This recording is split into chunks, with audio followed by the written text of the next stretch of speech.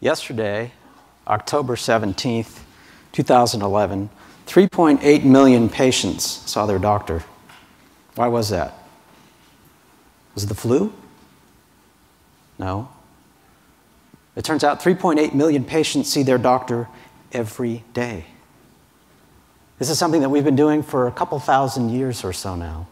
And that story of doctors and patients is a pretty interesting one. And it's filled with tales of reinvention. And I'm going to tell you that story here this morning. So, first, I think we can all agree that pain and disease are a universal human experience. The word patient actually comes from the Latin patior, which means I suffer. Coping with disease and suffering led not only to the birth of medicine, but also religion and philosophy. Now, back in the beginning, you didn't need me. If you fell sick, your entire community came together to help you. That is because the health of your group, the survival of your group, of your clan, depended on everyone being healthy. So back then, sickness was very much a public matter. It was a social condition with social solutions. Compare that with today. In our age of HIPAA, where sickness and disease is such an intensely private matter. It's true. Now, back then in Paleolithic times, it turns out we were relatively free from pestilence. In fact, you might have died young, but you died because something ate you, not because you had some disease. Disease is a side effect of civilization. Most of our diseases come from the animals that we domesticated. Our cattle brought us tuberculosis and smallpox. Our chicken and pigs gave us influenza. The horse, the common cold. Even the dog, man's best friend, so called, shared 65 diseases with us.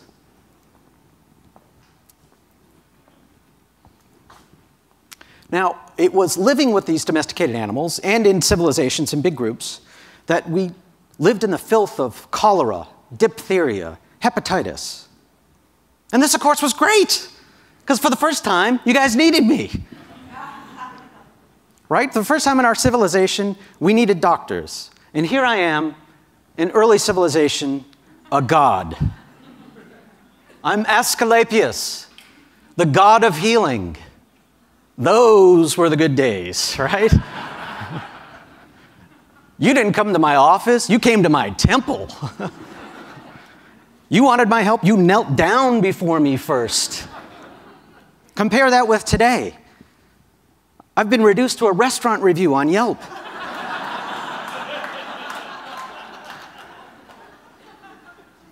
His hands were cold, two stars.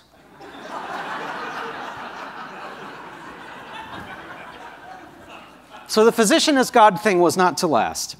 And around the 5th century BCE, we reinvented ourselves for the first time, thanks to Hippocrates. Hippocrates said that sickness is not a cosmic matter, but rather a natural one. This was a very important distinction because for the first time we could study nature and understand the causes and treatments for disease. That secular split led to the foundation of Western medicine as we know it today. And to mark this reinvention, we wrote an oath the Hippocratic Oath, which all of the physicians in the room today will recognize. Do you know why? Because we took this oath thousands of years ago, and we still take this oath in medical school today. This oath separated us from the other so called healers. And by professing this oath, we became the first professionals. These were good days for us for a while. But then, civilizations grew, diseases spread. Have you ever heard of a plague of biblical proportions?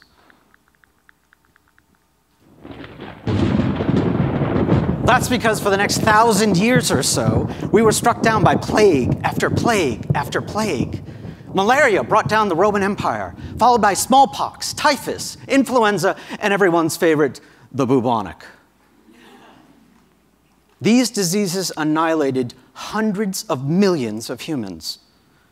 And despite all our professing, all we doctors could hope to do was primum non nocere, which is Latin for first do no harm. That's all we could do do no harm. We were worthless. You no longer needed us. And it was around this time that the church stepped in with its saints and holy waters and relics. It took up the cause of coping with disease and sickness. Once again, disease and sickness became a cosmic problem. Because even if the church could not cure you, it promised that your suffering is not in vain. You'll be rewarded in the afterlife. We had no good counteroffer. but not to be outdone, during the bubonic years, we got together. We talked about it. We reinvented ourselves. This is what we came up with scary costumes. No, really, that was it. Scary costumes. That's all we had. This was not a successful reinvention. But fortunately, the storm clouds of the plagues cleared, societies reformed, and once again, we were able to reinvent. We cast out the surgeons or the barbers, for your surgeon and your barber were one and the same. Did you know that? Amputation or haircut, take your pick. We cast out the apothecaries who went on to become pharmacists, and we decided that to be a physician, you must be a university trained man. Only gentlemen obviously had the means and time to apply. But this was important because at university, we studied the science of medicine, we taught each other, and we taught our patients. And for the first time, we became doctors from the Latin docere, which means I teach. That's the root of doctors. I teach. So this went right into the days of the Jane Austen physician. Well mannered and dressed, visiting the sick at home, right? We'd stop by the drawing room, maybe for a cup of tea, then up to the bedroom to visit you, the sick in bed. We'd ascertain the pulse, check the tongue, and then ask you and the family what you wanted. This was the first patient centered care because what we did, either a drop of morphine or some bloodletting, was more based on what it was that you asked for rather than what we thought. It didn't really matter much anyway. Our black bags were filled with blanks. What counted was bedside manner. And these were halcyon days for us. You loved us, you needed us, and it dovetailed right into the age of enlightenment. Being university men, we were at the right place at the right time. Science of the 19th and 20th centuries finally filled our bags with useful tools. Now we were firing on all cylinders. We had microscopes, otoscopes, stethoscopes, and only we knew how to use them. We were patient centered, caring, and effective. The generalist practitioner who could meet all of your needs. This is right up into the days of Marcus Welby, MD. We were your heroes. End of chapter. What happened next? We let our arrogance reinvent us. We knew 10,000 diseases and we had cures for all of them. If you were sick and you were suffering, you had to come see me. Our new motto became Nantes sum et salvum non osculum nantes, which is Latin for I'm here to save your ass, not to kiss it.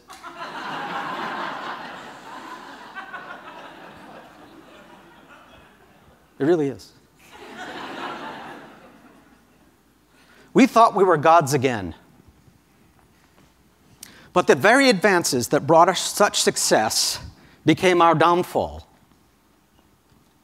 Where once you needed our expertise, our technologies now replaced us. Where it used to take great skill to diagnose strep throat or diabetes or pregnancy, now anyone could swab a throat take a drop of blood or pee on a stick, and you'd have a precise diagnosis. Precision medicine or technical medicine had replaced intuitive medicine. And precision medicine, with its MRI scans and immunofluorescence and genetic testing, was far more accurate than even the most successful physician. This completely disrupted our role. Where it used to be, to diagnose a murmur, you had to use a stethoscope. And it takes years to master this. Any physicians in the room can tell you that. This is very difficult to master. Now you can diagnose a murmur with your iPhone. Thank you, Steve Jobs. really. So, what does this mean? This means that now my niece can diagnose a mitral valve murmur, and she's six. Soon we'll diagnose melanoma with just the click of a photo, right? No more difficult than, than taking an Instagram. That technology is almost here, it's very close. Where it used to be that to understand about your disease, you had to come see me. What about now? The, the, internet has made that information freely available to you. Knowledge that used to be only on my bookshelves, you can now get on WebMD, the Mayo Clinic. Your patient communities can actually give you information that even I don't have. Now, you patients track your own health. You demand your data back from us. You saw chiropractors, naturopaths, and other alternative health providers twice as often as you came to see us.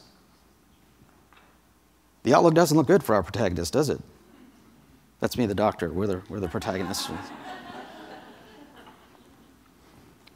But let us not forget, we've been through a thousand years of sickness and disease together. And through that, we've always been there for you. As smart as it is, Google is not your doctor.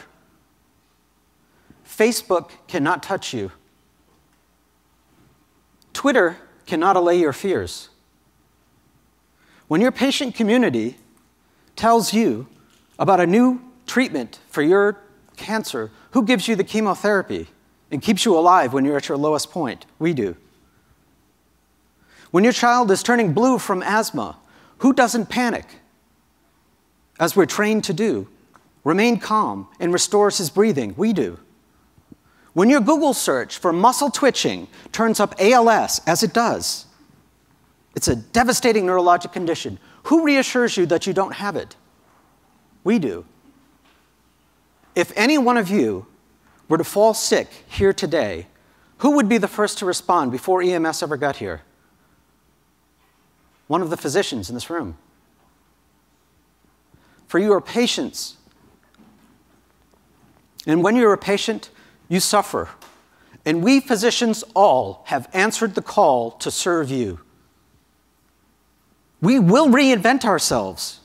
We will, for the first time, become content creators creating videos, uh, blog posts, podcasts, getting back to our roots of doctors as teachers. We will once again visit you at home. This time we'll meet up virtually, right? You'll bring your knowledge that you gleaned from the internet, you'll bring your network, you might even bring your own diagnosis. And then you will as Hippocrates had said thousands of years ago, cooperate with the physician in combating disease. We'll use electronic medical records to communicate with other doctors and with you.